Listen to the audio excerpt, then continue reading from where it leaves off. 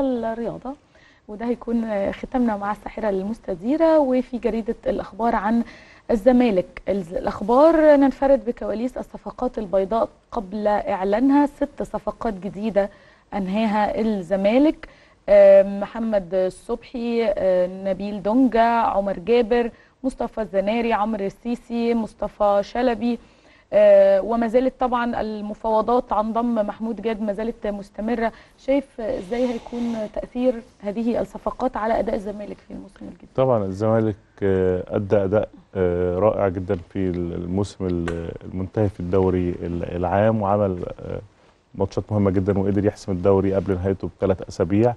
فاي فريق محتاج دعم محتاج إحلال آه ومحتاج عناصر جديدة يمكن العناصر اللي اضيفت دي عناصر مهمة جدا واحد زي نبيل دونجا آه ده مدافع آه أو بيلعب في خط النص حد كده على وزن طارق حامد طارق اللي كان عمل مشكلة واختفى من نادي الزمالك.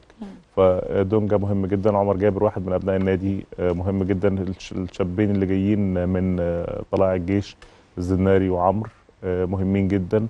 محمد صبحي حارس واعد جدا وهو تخيلي أقل حارس في هذا الموسم دخل فيه أهداف. وفاركو رغم إن هو مثلا سابع أو ثامن الدوري أقوى فريق دفاع في بطولة الدوري فده رقم ملفت.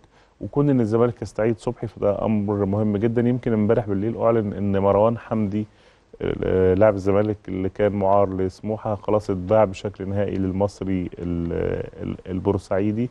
ففي التوقيت ده عادي جدا إن اللعيبة تنتقل وكل فريق وكل إدارة نادي عارفة مصلحتها فين وعارفة مين اللي هيضيف لها ومين اللي مش هيضيف لها.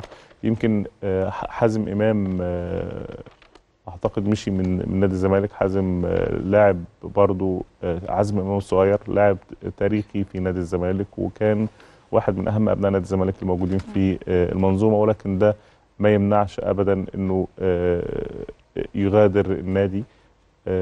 هنستنى موسم حلو جدا ما بين الزمالك والأهلي وبيراميدز وكل الفرق اللي طب خلينا بقى نشوف أخبار الأهلي بالمرة عشان نعرف الموسم إن شاء الله هيبقى شكله إيه من الأخبار. صفحة 13 الأهلي يعرض صفقاته على كولر والخواجة يظهر العين الحمراء مع خفة الظل ويطالب بتعديل لائحة الثواب والعقاب. والراجل دخل يتنطط جميل دمه خفيف جدا. وكل الناس قالت لك دمه خفيف وهو فعلا خلي بالك إدارة هو دخلته غريبة آه. أو عامل شو كده عامل شو فربنا يستر. ربنا ونشوف يستر. الشو ده يتحول لاداء وفكر و... وخطط في الملعب لأن ده هيبقى مهم جدا. يفرق مع النادي الأهلي قلنا الأهلي والزمالك هم ال... النواة. الرئيسية لمنتخبنا فكل ما الأهلي كان كويس والزمالك كان كويس هنشوف منتخب كويس. الراجل دخل عمل شو حلو قوي ودخل الملعب وقال لك أنا مبسوط إني في أعظم نادي في أفريقيا والشرق الأوسط وإن شاء الله نعمل شغل كويس.